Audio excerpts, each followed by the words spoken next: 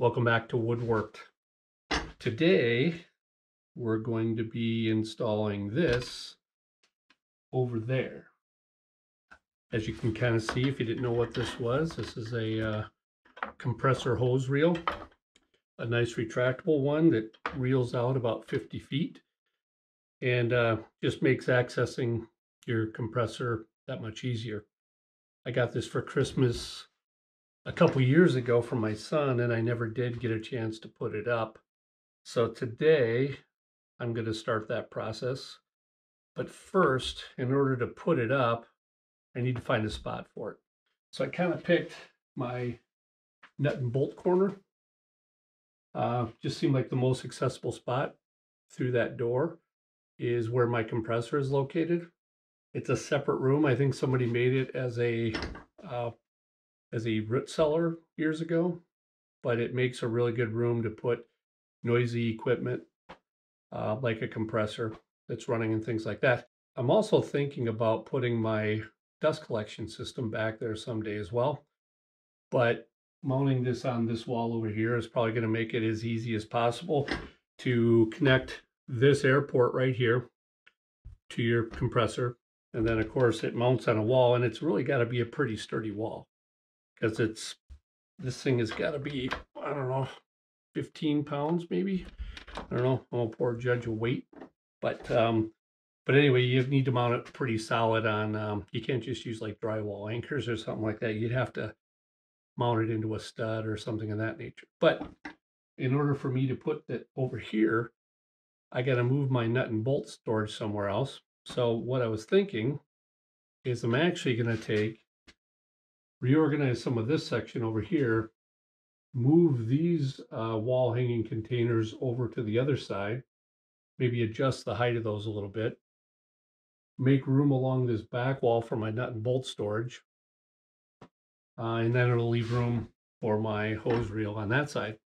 So the first thing we'll do is uh, get that bench cleared off and start to reorganize some of that. So let's get after it.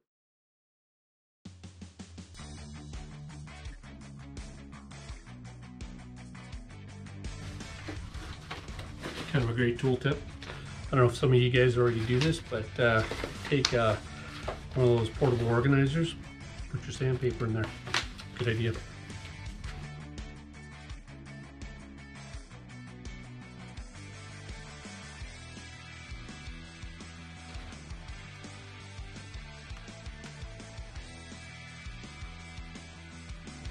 few old manuals from my shop tools.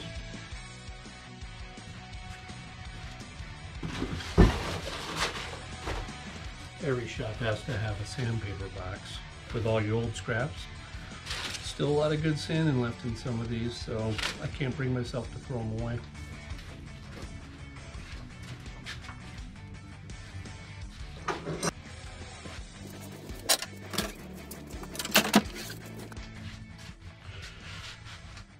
looks pretty good now. So now what I'm going to do is take all these guys off here, clean up this wall, and then make room over here. Maybe I'll have to adjust the height of these. Oh look, not a hoarder, but looks like a doorbell. I'll bet it still works. See, told you.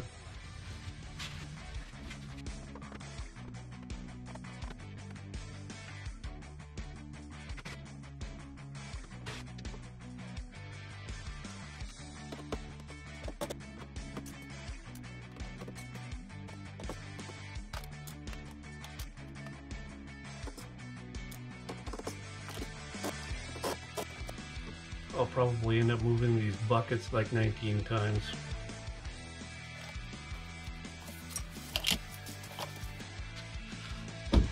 Let's go ahead and start taking down my nut and bolt storage stuff and getting that moved over to this side.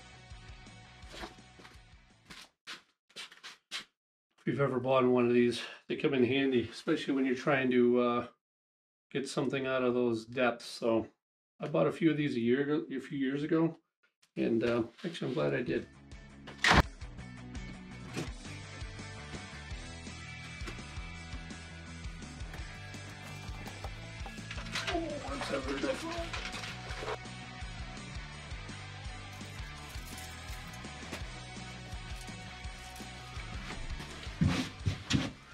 All right, so now head back over there figure out where to mount those, maybe do a better job than I mounted them up here, and uh, get that process started. I know the smart thing would be is to take all the drawers out and hold it up there. I'm not that smart. I don't want to go through all that work. Plus, I don't have any place to put all these drawers. So, what we'll do is we'll level line in there. Make sure they're all at the right height. And then measure the center to center on them. Put some holes in there. And go from there.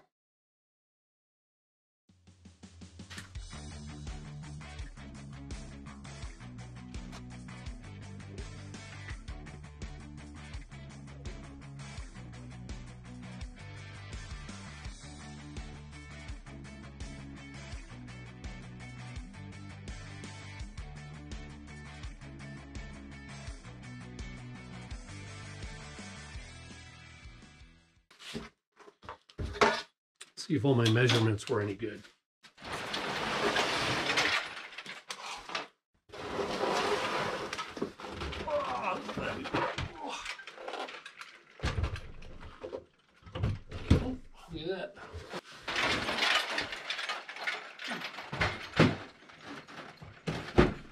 This one will be the tough one. Hanging on that toggle bolt.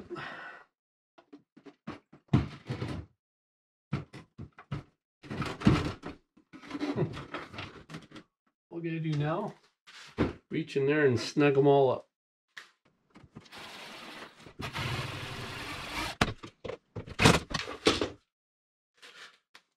So what do you think? Looks pretty good. I'll clean some of this up and then we'll go work on that side.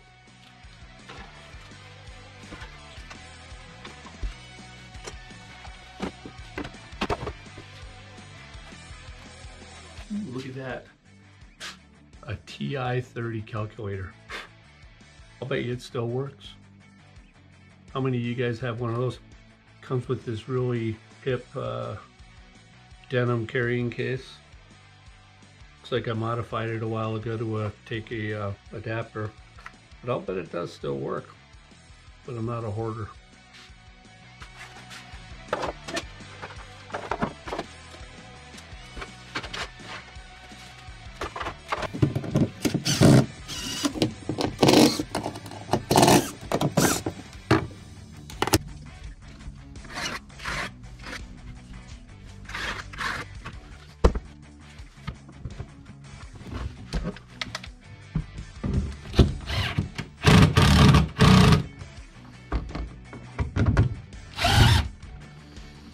One is not on a stud. I don't know why I thought.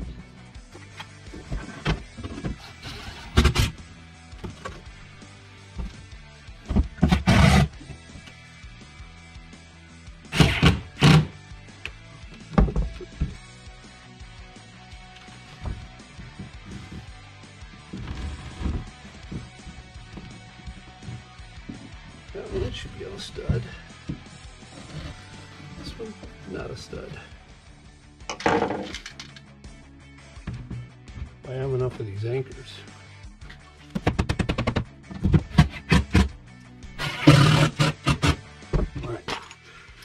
Real quick, two rows, three rows. So that looks pretty good. I can see in the top. And now let's just go ahead and finish the rest of them. I think what I am going to do though, maybe if I can see this red one on the bottom, which I can, I think I'll put that down there because then it um, gives me just a little more counter space.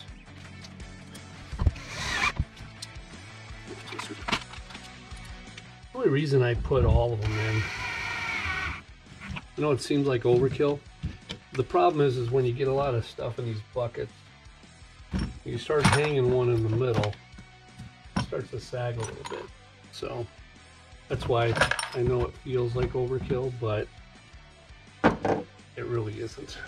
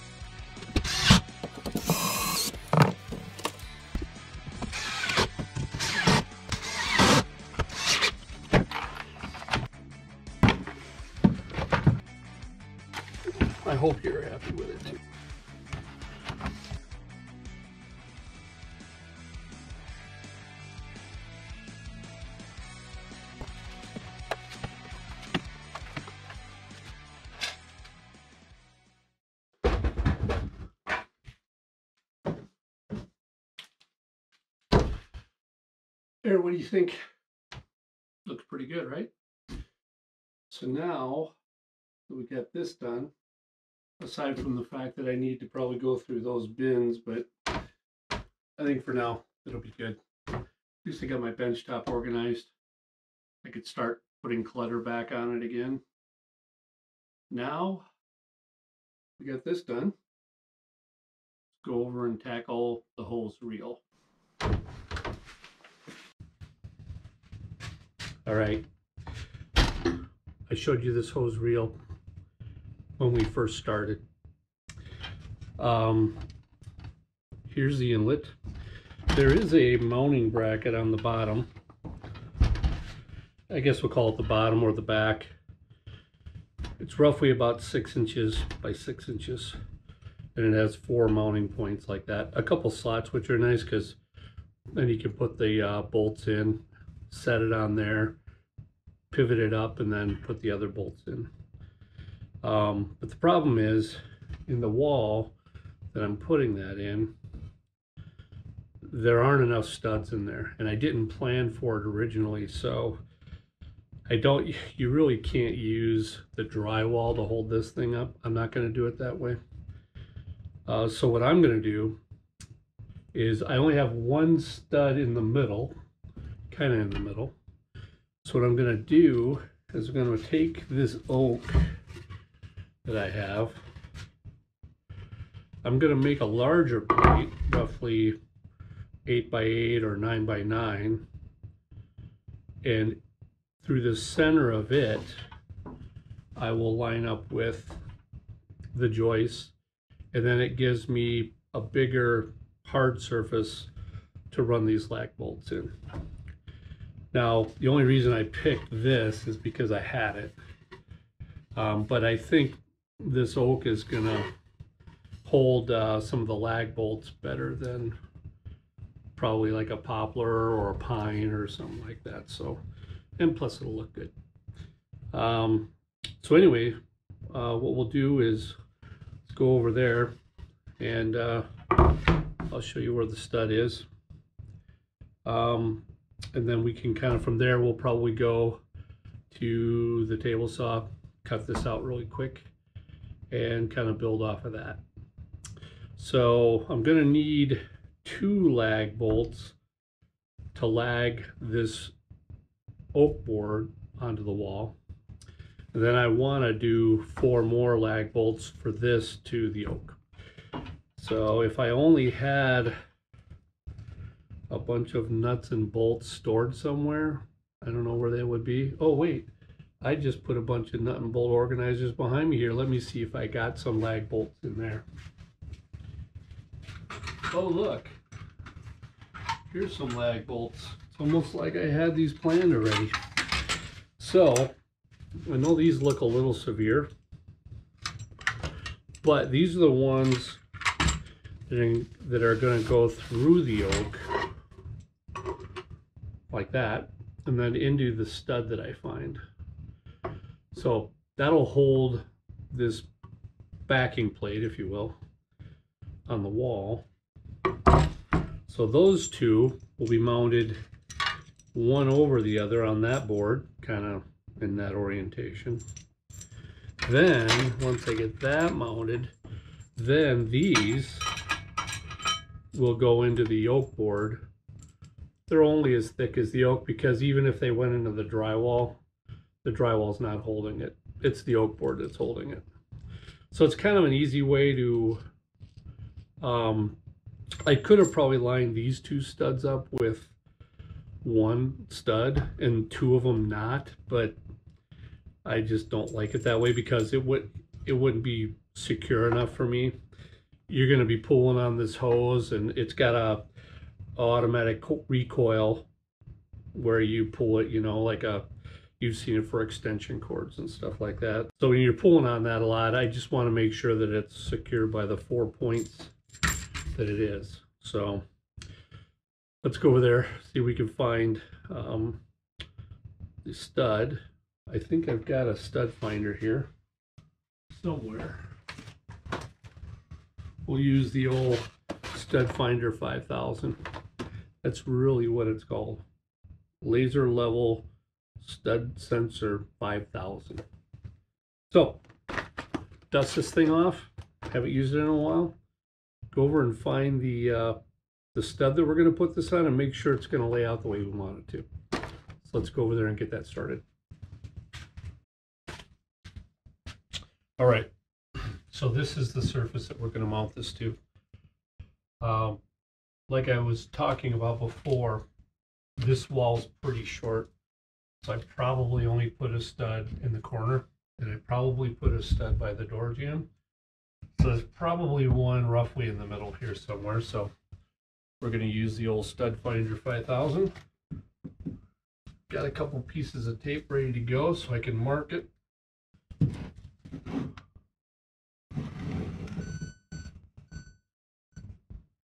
Right, use the bubble.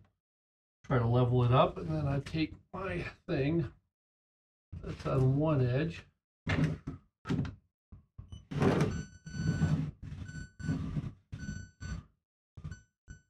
level that up. That there. Check it again.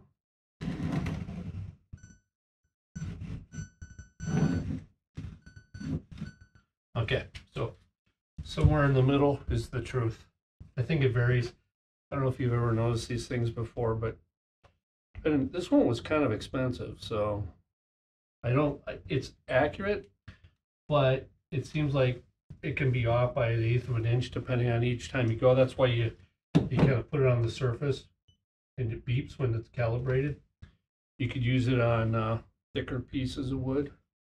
Uh, I'm not sponsored by Stanley, but it was a pretty good buy. And the level's kind of handy as well. So let's just check over here. Yeah, so I know there's one here. But to try to get a bolt into that corner is going to be a little tough. So what I think I'm going to do, envision this being cut down to a piece about nine inches square. So once it's square, I'll probably mount it up fairly high, high to the ceiling. Well, let's go ahead and get this thing cut down first, get it mounted, and it's going to look really nice too, you know. So let's go ahead and do that.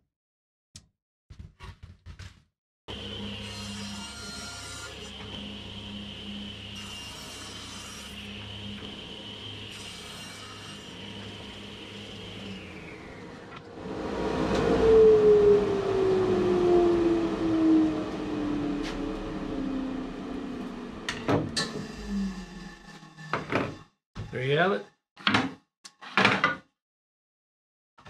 So now, I'll probably just take one of those scrap pieces of sandpaper I've got laying around, take the sharp edge off there, and we'll head back over there and see if we can locate it.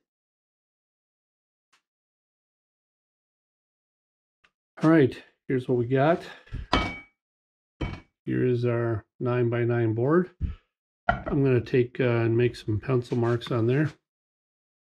You can see it's wider in both directions. But that's going to give us the best footprint to mount it on the wall over here.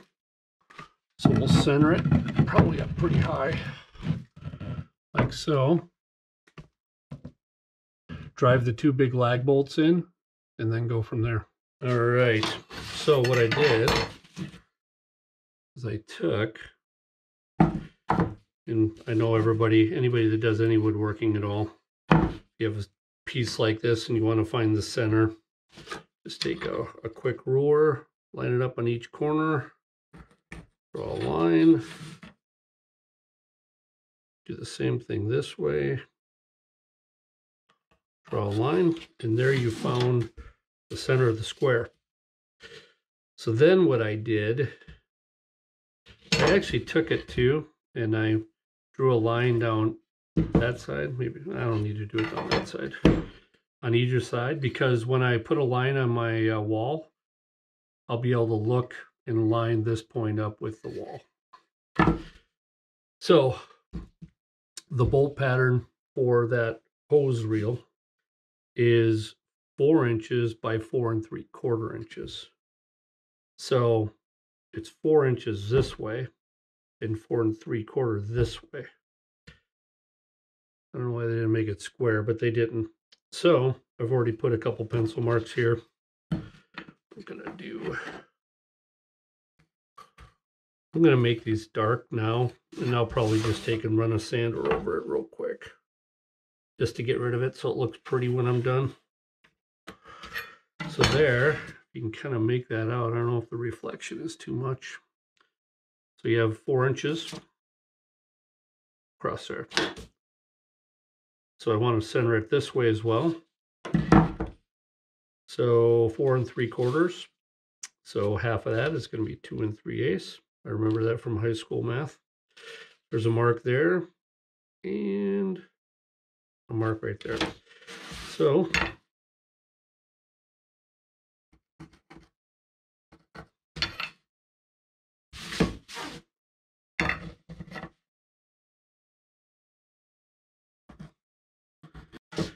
So now I've got my four points right here. And um, I'm going to get my drill out. We'll start piloting those. So let me go grab my drill and drill bits.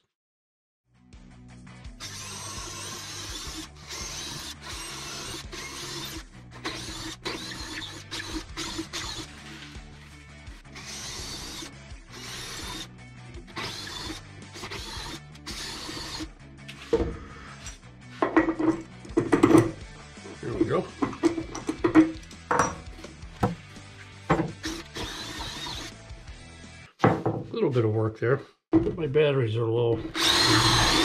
So now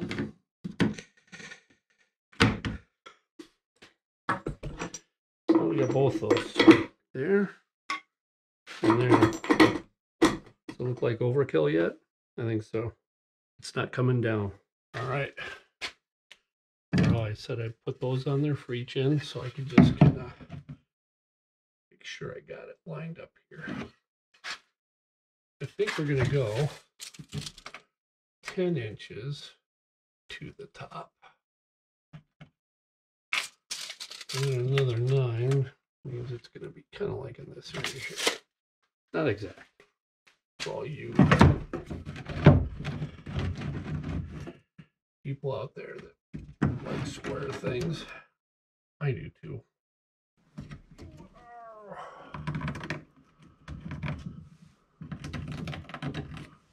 Alright. Now we got our two holes marked. Gonna run a few drill bits through here too because don't want to split out that stuff. I think we'll go one more. All right sanded it up nice. Took a little edge off, the rough edge off.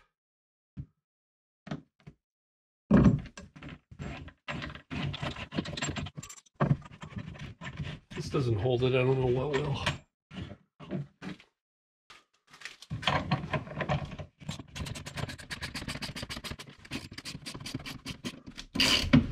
drill a little deeper.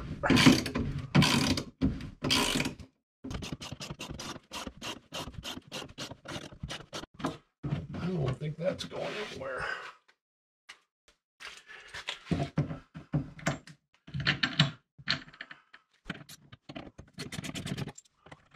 I know, everybody's saying a little overkill, but I don't know. I just don't want to have to deal with it twice.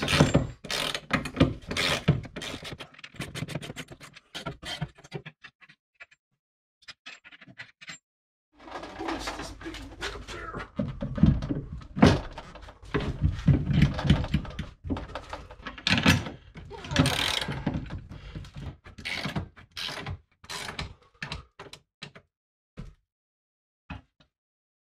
It's only hold it up by the bottom bolts right now. Hope it'll stay there until I get the top bolts in. Put my glove on so I don't scrape it up on the drywall. It's gonna hurt a little bit.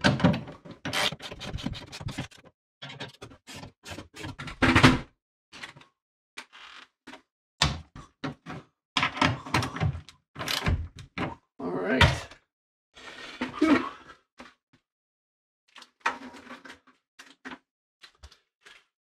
That's a really an easy thing to do. Hoisting that thing up there by myself. So, I think it's pretty solid. The rattle is coming from this, I think.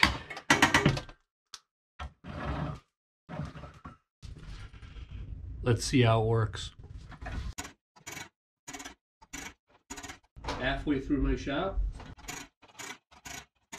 Three quarters of the way through my shop. All the way at the end of my shop. And it'll even reach all the way over here. Yeah, let's see if we can roll her back up.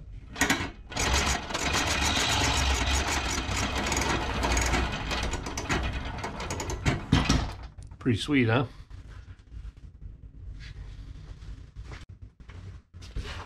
All right, so there you have it.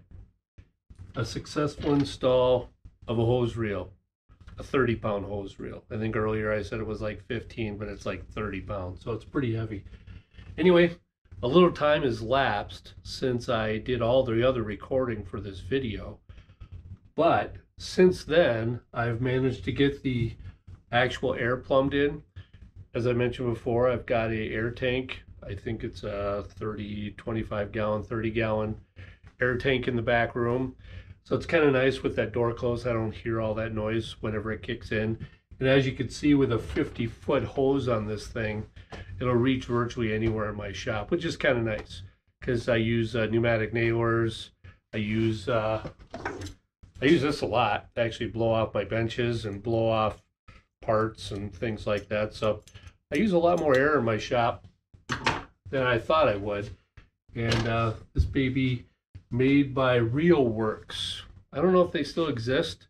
I tried to look them up before, um, but I would recommend it. I would recommend having any hose reel. I don't know if how all the others in the industry fare compared to this one, but I really like it. I've had it installed for quite some time now, and uh, I would say that I can't believe I went so long without putting it up. Anyway, that ought to do it. If you like this video, I would greatly appreciate it if you would like it, share it, and most importantly, please subscribe to this channel to kind of keep it going along. Uh, it really does make a big difference, so I would greatly appreciate that. So be watching for uh, future videos. I got a few good ones coming up here pretty soon. Some with actual building stuff instead of putting new hardware in the shop. So uh, that'll be kind of fun. So uh, I do appreciate you following along. So until next time, we'll see you later. Take care.